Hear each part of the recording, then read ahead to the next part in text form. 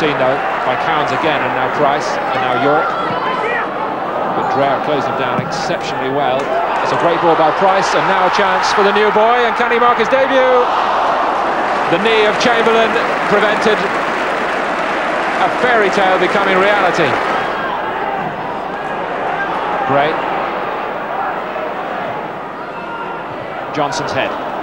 Pembridge, well run by Cowans. Cascarino can turn, can he shoot? Good save. Alec Chamberlain's working hard for his money today. But this is a good save. Cascarino doesn't really get hold, does he? But well seen by Chamberlain. Mountfield missed it for once. And now it's uh, Elstrup and Black, the two danger man in unison. Good ball across the face! And Derek Mountfield is the culprit. Highly unfortunate own goal, but Luton Town on a breakaway between the two undoubted danger men, Lars Elstrup in picture and Kingsley Black, have taken the lead here. Derek Mountfield, own goal. And this is a kind of a hat-trick he won't want. More on that in a second. Black's dangerous cross. And Mountfield, in attempting to get it over the bar, puts it under and in. And Luton have the lead. Black forward, and Dowie can chase on Nielsen. Neither would beat Ben Johnson in the uh, Indoor World Athletics Championships this weekend, I have to say, but Good tackle from Pembridge. And now Luton can do something else down his left side. Here's Preece. More danger. Dowie. And an excellent save by Spink. And again Villa gets stretched down the left. Down their right. Yorke couldn't get back. Good cross again, this time from Preece. Two Villa defenders missed it. And Spink didn't, thankfully for Villa.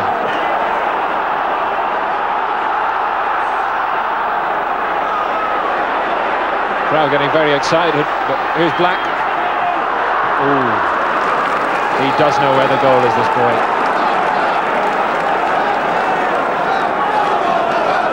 Here he is again, on his left foot.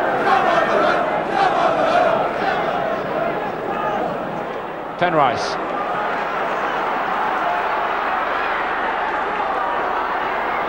Good tackle, McDonough. Now Black.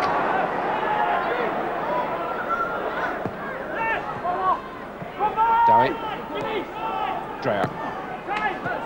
Good ball from Dreyer. And Black again creating space for himself superbly. That's even more than he could have hoped for, because it's going to be a Luton corner. As we go into the dying minutes of the first half now. Corner given away by Gordon Cowans. And Spink waits and organises.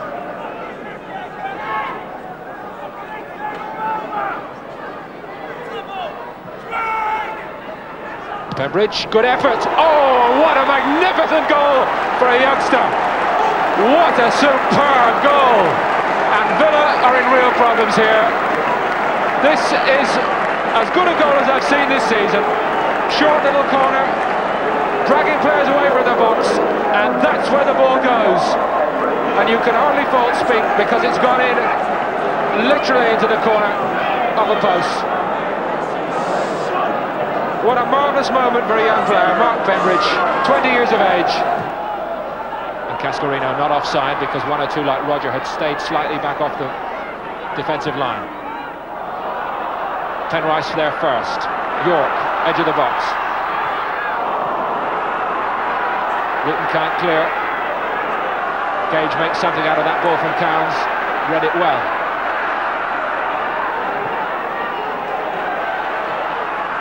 McGrath. Everybody forward of him. Cascarino was pulled. Must be a penalty. And that is poor defending by John Dreyer on Cascarino. And here's perhaps Aston Villa's lifeline. How often we see this? There was a clear pull,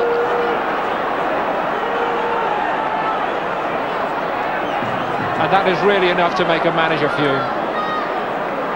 But it's given Aston Villa a lifeline, and it's David Platt on his return to the first team in front of his beloved Holt End. Would you believe it? Cascarino, can he finish? No, he can't.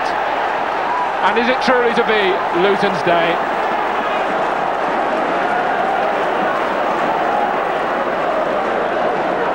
The blast straight at Alec Chamberlain from David Platt and it manifestly did not work.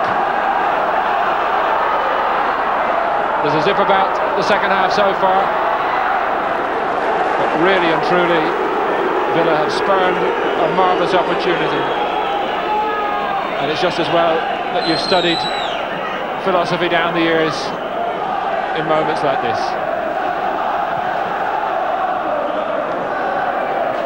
Luton still lead two goals to nil. And when offered a lifeline, Villa have not profited from it. McGrath. But there's a certain zip about Villa's play since the break. Gage forward, Cascarino. And Preece tidies up again, busy and tidy. And now something, Elstrup, who is quick. And this could finish it as a contest. Lars Elstrup, magnificent save from Nigel Spink. The second outstanding save he's produced in this game. As Elstrup struck that offside. And that was really fingernail stuff. Pembridge, left foot again. Different style, different result.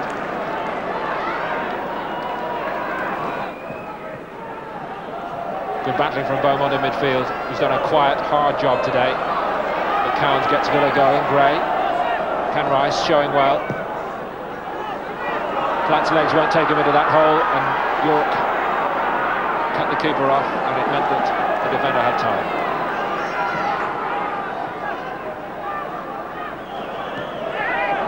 Now, Pembridge with space, and with Johnson to his right, and this is Johnson.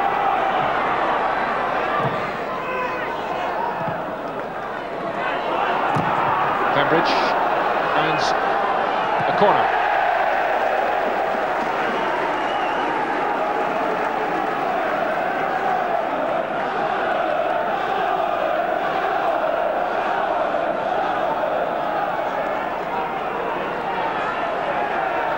Elstrup and Dowie, the two big guys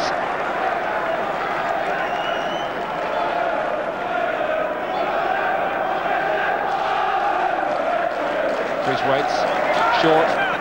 Another clever little variation from Luton. They scored from one of these. Black, good ball, good header as it came in, and it was Rodger. And again, those clever little corners engineered by Preece, and Villa are not dealing with them. And here's nearly what happened as a result. Just clipping the top of the uh, goal support.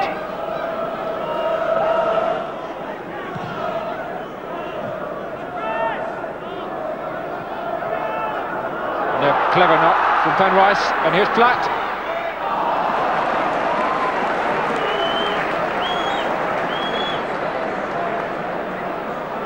Here it is again, Penrice just getting himself in the way.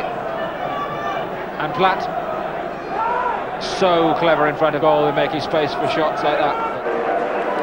And it's, surprise, surprise, a defender who goes off and a goal scorer who comes on. Ian Olney is on. Again, Cowans tries to step up the tempo.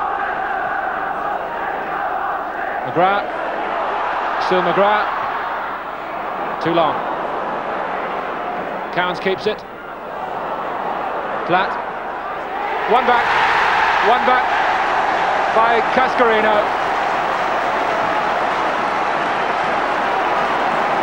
Sheer weight of numbers produces some reward for Villa and they're still in this game. Cowans keeping the ball alive.